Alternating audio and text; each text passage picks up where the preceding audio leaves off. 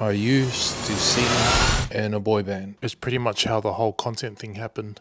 In 2013, we started a singing group.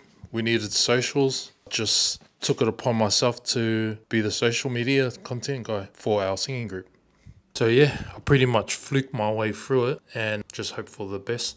It was probably a mix between the right time and the right place. And yes, I'm on the toilet. Here's a small preview of what we did.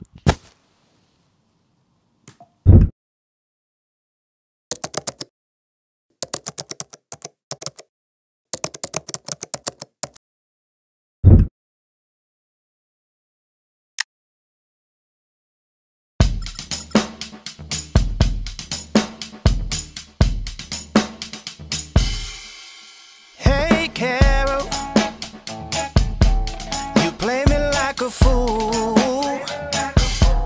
I thought we hit it all very nicely, but that was so untrue. You said you love Roger and Tony. Turn to give you your dreams Now.